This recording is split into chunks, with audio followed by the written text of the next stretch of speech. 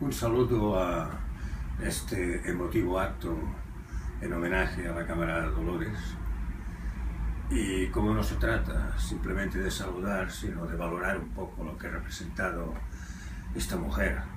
en la historia del Partido Comunista de España y también en la historia de España, pues eh, yo quiero valorar una parte de su personalidad que seguramente no es la que es más glosada en los momentos de homenaje y tal, que era que en los momentos difíciles Dolores tenía el coraje para ver la situación de forma fría, objetiva, aunque guardara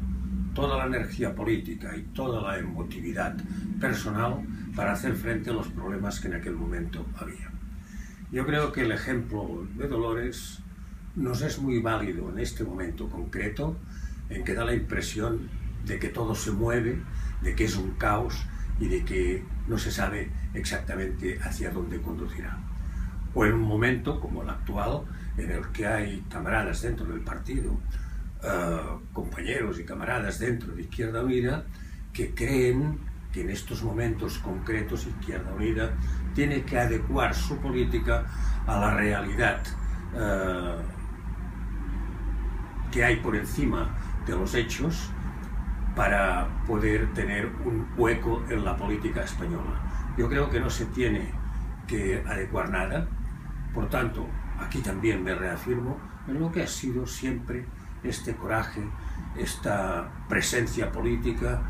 esta decisión política de Dolores en los momentos difíciles, hacer frente a los mismos con una actitud en defensa de lo que, es el, de lo que siempre has creído. Porque cambiar en un momento determinado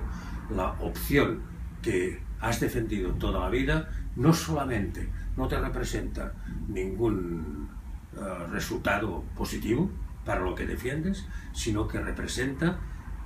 la falta de credibilidad del proyecto que defiendes. Por tanto, bienvenido sea este homenaje para recordar a esta Dolores viva, a esta Dolores presente, pero no para hacer una glosa de nuestra gran presidenta del partido, sino para recoger el mensaje que ella nos transmitió y sobre todo la experiencia que nos transmitió a partir de su convicción política y la defensa de lo que consideraba fundamental en nuestro país y en el mundo.